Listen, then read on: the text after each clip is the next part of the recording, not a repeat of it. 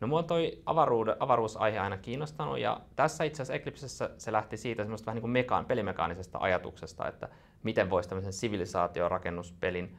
toteuttaa ää, niin kuin mekaanisesti helposti ja kiinnostavasti. Ja alun perin mä ajattelin, että tästä olisi tullut semmoinen ää, niin kuin siv- perinteinen historiallinen sivilisaatiorakennuspeli, mutta sitten mä totesin, että tämä itse asiassa sopii tosi hyvin tähän ää, tiede- tai avaruusteemaan ja, ja mulla oli myös lämmin paikka sydämessä tämmöiselle avaruusteemaisille peleille, niin sitä, sitä kautta sitten siirtyi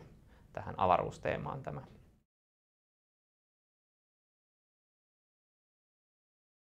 ensimmäisistä ideoista, ää, niitä, niitä niin kypsyteltiin, tai mä kypsyttelin alkuun niin yksikseni aika pitkään, ja sitten tosiaan Sampo Sikian kanssa ää, vietiin ne siihen ensimmäiseen prototyyppiasteeseen, ja me tosi pitkään ihan vaan keskusteltiin ja pohdittiin niitä juttuja ihan, ihan yhdessä ja, ja niiden mun ideoiden pohjalta. Ja sitten me, me oltiin viime valmiit sen, viime, sen lopullisen, pro, tai lopullisen ensimmäisen prototyypin kanssa, niin tota, me pelattiin sitä ja, ja se niin kuin hämmästyttävän hyvin toimi. Ja, ja sitä kautta se koko projekti sai semmoista virtaa ja, ja voimaa ja, ja ja jotenkin mun mielestä se oli ratkaiseva tässä, että, että, että me saatiin niin kuin pään sisällä mietittyä se peli niin, niin tota, hyväksi siinä suunnittelupöydällä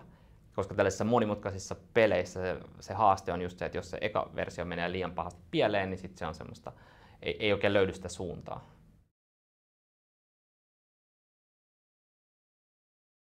Eli ää, me, me käytettiin hyvin paljon, testattiin muiden ihmisten kanssa ja, ja saatiin, eli kokeneiden lautapeliharrastajien kanssa ja tota, saatiin sieltä paljon hyvää ää, feedbackia, paljon hyvää palautetta ja, ja kehitysideoita ja tämmöisiä näin. Et, et se niin kuin lähti tosi hyvin liikkeelle siitä ja ensimmäisestä prototyypistä lähtien me saatiin niin semmoinen hyvä innostus aikaiseksi ja, ja ihmiset tykkäsivät siitä pelistä ja koki, että se oli jollain tavalla ehkä semmoinen, mitä nekin oli kaivannut ja, ja sitten auttavat siinä testauksessa ja ideoinnissa.